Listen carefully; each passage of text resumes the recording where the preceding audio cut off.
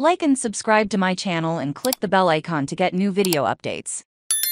St. Louis beat Seattle. Thanks to tie break from XFL playoffs, St. Louis, a day after the St. Louis Battlehawks set the XFL record for points in a game in Saturday's 53-28 win over Orlando, to end the regular season, the team learned that it wasn't was enough to qualify for the postseason. The Seattle Sea Dragons, who defeated St. Louis last week, won their Sunday night finals at home to Las Vegas by a score of 28-9. Instead, the teams shared their regular heads-to-head heads matchups, went up and ended in tied 7-3 records, which set a series of tiebreakers in play. Seattle eventually prevailed in a fifth tiebreaker. According to a team spokesman from St. Louis, Seattle finished a point better on the combined totals for total points. Arlington and Houston compete for the Southern Championship on Saturday. The two winners meet in San Antonio on May 13th to determine the league champion. You've been with us from the start, and we can thank you enough.